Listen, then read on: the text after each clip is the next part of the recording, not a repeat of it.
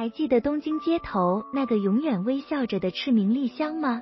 上世纪九十年代初，一部日本爱情电影《东京爱情故事》横空出世，不光在日本爆火，也红遍整个亚洲。在这部电视剧里，除了丸治、丽香、三上和里美之间的四角恋关系，最让人难以忘怀的就是丽香那张可爱又充满活力的脸了吧？那一双笑起来清澈的仿佛月牙的眼睛，毫不掩饰的露出一排洁白整齐的牙齿，永远在目送着喜欢的男生离去的背影，永远叫着完治的丽香，即使笑中有泪，也还是元气又美丽，让人心生爱怜。电视里那个勇敢追爱的赤名丽香，在现实生活中也是一个敢爱敢恨的女人。她真实生活中的感情经历，仿佛就是丽香的经历。铃木保奈美在婚前一共有过两段短暂的恋爱。第一段恋情就是和《东京爱情故事》的金牌制作人大多亮的绯闻，但是对方是有家室的人。第二段感情的对象，就是被外界称为“流星之爱”的江口洋介。铃木保奈美和江口洋介都是个性很开放的人，两人不光一起去旅行，还试婚，好不幸福。令人遗憾的是，这段感情仅仅持续了很短时间，便分道扬镳了。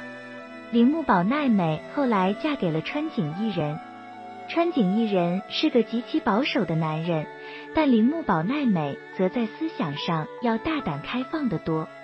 婚后的铃木保奈美继续活跃在影坛，还出演了多部大尺度的电视剧。聚少离多，加之两人性格不合，长时间相处下来，矛盾不断升级。一九九五年，在结婚三年后，两人终究是劳燕分飞了。在离婚一年后，她便遇到了第二任丈夫，著名的搞笑组合隧道二人组成员石桥贵明。一九九六年，铃木保奈美与石桥贵明高调订婚，在当时的日本一度掀起轩然大波。当时人们对这段恋情都不看好。两千年，铃木彻底淡出娱乐圈，做起了全职太太。八年里，先后为丈夫生下三个女儿。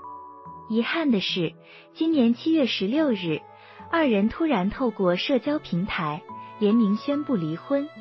铃木保奈美与石桥贵明表示，三名女儿已经长大成人，他们完成了抚养孩子的责任，因此决定分手。据日媒报道，离婚最主要原因是铃木保奈美受不了石桥多年的严格管控。事实上，铃木保奈美去年就有所动作。去年七月，她成立了个人事务所。之后，又在东京高级地段购下价值三亿日元（约合一千七百六十万元人民币）的豪宅，这些都被视为他为恢复单身做准备。《东京爱情故事》里的赤名丽香永远对爱求而不得，现实中的铃木保奈美也是如此。希望她在以后的日子里永远快乐幸福。